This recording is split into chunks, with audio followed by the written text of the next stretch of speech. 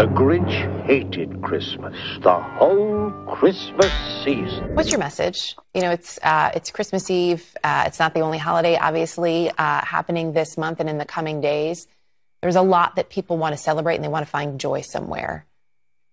What's your message to Americans this morning based on what you see and what you hope to see in the coming year?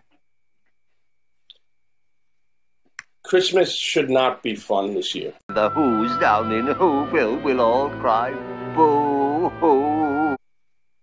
Christmas should not be fun this year. Okay, this should be part of the negative. Welcome Christmas while we stand heart to heart and hand in